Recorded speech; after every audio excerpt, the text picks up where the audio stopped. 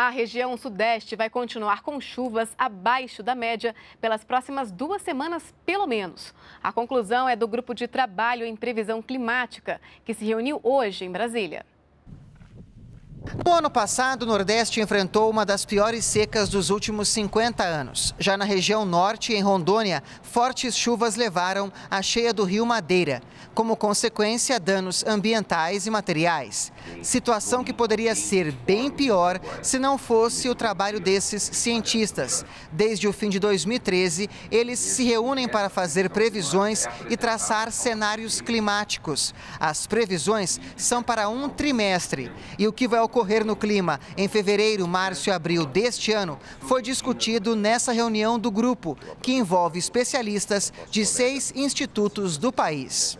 A previsão para os próximos três meses varia no país. No norte e nordeste, as chuvas vão ficar abaixo da média. Já no sul, as precipitações vão ficar acima da média.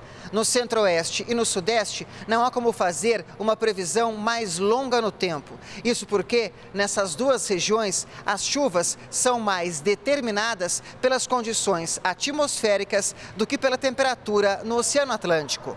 Segundo os especialistas, as previsões no Sudeste são no máximo para as duas próximas semanas. E nesse período, as chuvas vão estar abaixo da média histórica na região, porque existe um bloqueio atmosférico que impede a chegada de frentes frias e mantém as temperaturas elevadas. Permanece essa estiagem. Em janeiro vai fechar com chuvas abaixo da média. Fevereiro nós não sabemos, nós temos que chegar mais para frente. Mas independente da quantidade de chuva em fevereiro ou março, existe um déficit de acumulação de água na região sudeste que vai perseverar por vários meses. Para o Ministério da Ciência, Tecnologia e Inovação, o Grupo de Trabalho em Previsão Climática está orientando o poder público sobre como agir em condições adversas. Protege a infraestrutura, de cada estado, as estradas, portos, aeroportos.